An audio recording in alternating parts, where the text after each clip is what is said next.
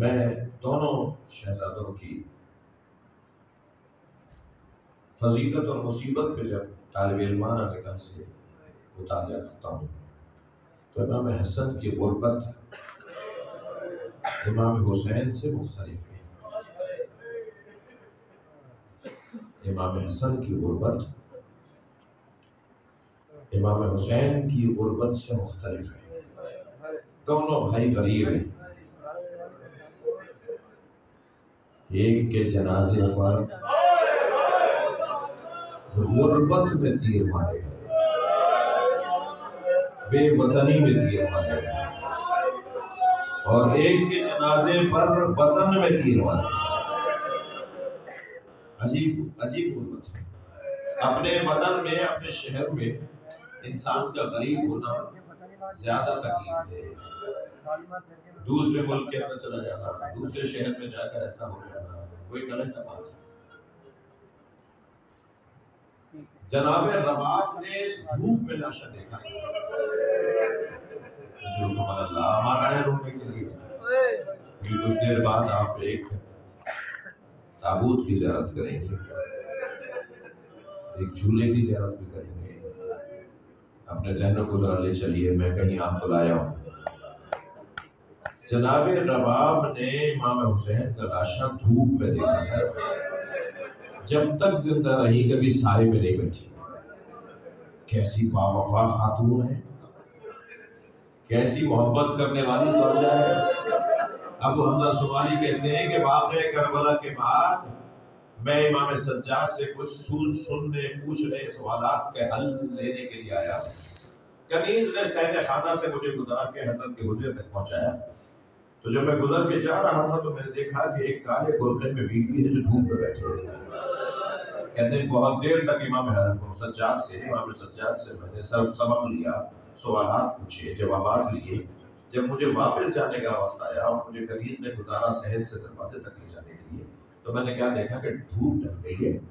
मगर वो बीबी वहाँ से उठकर वहाँ आके बैठ गई, जहाँ धूप आ गई है। बुरखा पहने एक बीबी धूप में बैठी है। अब हमजा कहते हैं कि मैं खड़ा हो गया। अब हमजा सुमारी बहुत बड़े नाम, बड़ा दौरा नाम है। कहते हैं, मैं खड़ा हो गया तो इमाम सज्जाद की आवाज़ आई वो क्या सोच रहे हो? तो मैंने कहा, मौला, शायद किसी गलती पर आपने अपनी कनीज को सजा दी है। मौला, मेरी वजह से उसे माफ़ कर दी इमाम की आँखों में आँसू आ गए। वो हमजा, मेरी माँ का बाप है। मेरे बाबा का लाशा धूप में देख कर आई। तो वादा करके आई थी कि जब तक ज़िंदा रहूँगी, कभी साय में नहीं बैठूँगी। मैं रोने वालों से सवाल करूँ, एक की एक भाई की जोजा तो ऐसी बावफा और एक भाई की जोजा ऐसी कि इमाम हसन को है जोजा ये इमाम हसन की गुर्बत है। इमाम हुसैन की जोजा का की वफादारी ऐसी, और इमाम हसन की जोजा की बेवफाई ऐसी कि खुद जोधा बिनते आशा से गिनती ने जनाब इमाम हसन को जहर दिया जब पहला घूट लिया ना इमाम ने तो ये कह के कटोरा वापस रख दिया, तेरी मुराद इसमें पूरी हो जाएगी। इमाम के जिगर के टुकड़े कट कट के बाहर आए। जब जिगर कै की सूरत में बाहर आ रहा था तो उस वक्त में इमाम हुसैन सिरहाने बैठे थे। किसी ने कहा, बस चंद जुमले सुन लीजिए, आपकी आँखों में आँसू आ गए। किसी ने कहा कि जैनब आ रही है। इमाम हसन ने फरमाया, भाई हुसैन, ये तश्त उठा लो। जैनब से बर्दाश्त नहीं होगा।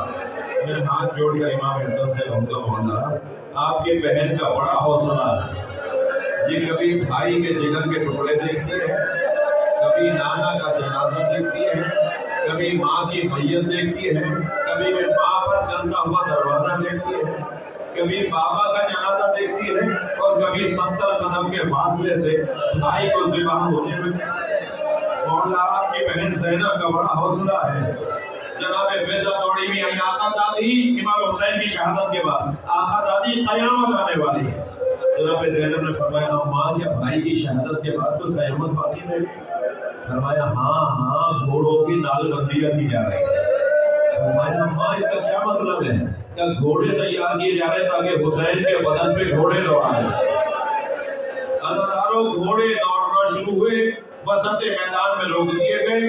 पूछा, ये घोड़े क्यों रोके गए हैं? क्या हबीब का लाशा उठा रहे हैं। फिर घोड़े दौड़े और फिर रोक दिए गए। अम्मा, आप क्यों रोके गए? तो है कैन का लाशा उठा रहे सारे लाशे उठाए जाते रहे।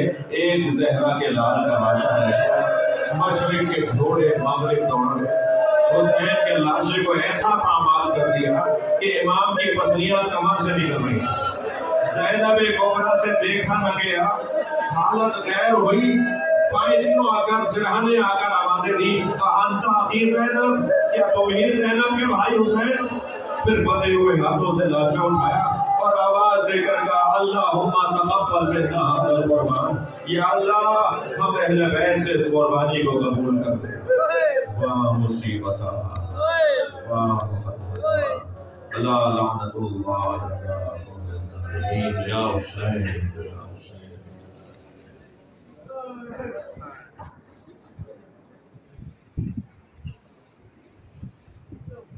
नबी के नवासे को उम्मत ने ये क्या रिसालत अदा किया है नबी के नवाजों से उम्मत ने क्या रिसालत अदा किया है इमाम हसन का ज़िक्र जहर से टुकड़े टुकड़े किया इमाम हुसैन को करबल में जाके हारा हारा